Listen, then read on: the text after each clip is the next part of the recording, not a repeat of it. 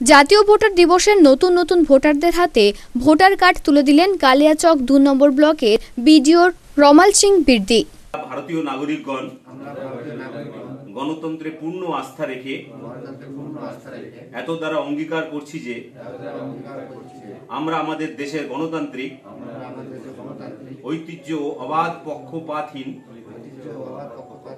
শান্তিপূর্ণ নির্বাচনের মর্যাদা ঊর্ধ্বে তুলে ধরব।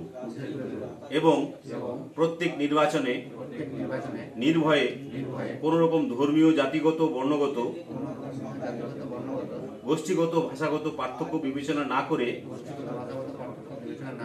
বা অন্য কোনো প্রলোভনে প্রভাবিত না হয়ে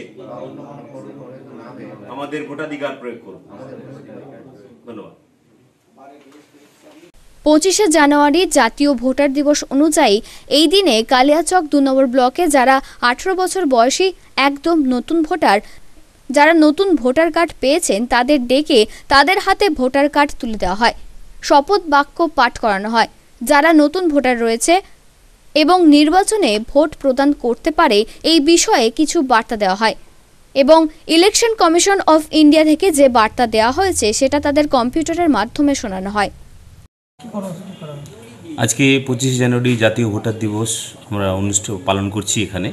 আজকে পঁচিশে জানুয়ারি জাতীয় ভোটার দিবস অনুযায়ী আমরা যারা নতুন ভোটার, যারা নতুন আঠারো বছর বয়সে প্রথম ভোটার হিসাবে নাম ভুক্ত হয়েছে ভোটার লিস্টে, তাদেরকে আমরা এখানে ডেকে শপথ বাক্য পাঠ করিয়েছি।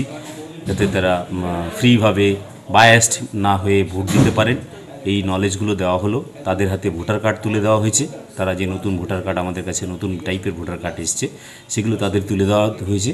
প্লাস আজকে ইলেকশন কমিশন অফ ইন্ডিয়ার থেকে একটা বার্তা দিয়েছেন। সেই বার্তা তাদেরকে শোনানো হয়েছে এবং তাদেরকে বলা হয়েছে যেন তারা আমাদের মোথাবাড়ির বিভিন্ন জায়গায় যেখানে নতুন ভোটাররা আছেন, তাদের সাথে ইন্টারাকশন করে, যাতে ভোট সম্পর্কে আলোচনা করেন। এবং সোসাইটিতে ভোটের প্রতি একটি সচেতনতা তৈরি করা এবং যাতে সবাই মিলে ভোট দিতে আগ্রহী হয়। আমরা দেখেছি অতীতে যে ভোটের পার্সেন্টেজ খুব কম হয়। এটা অ্যাভয়েড করার জন্যই এই জাতীয় ভোটার দিবস পালন করা হচ্ছে যাতে কিনা লোকে এগিয়ে এসে ভোট দেয়।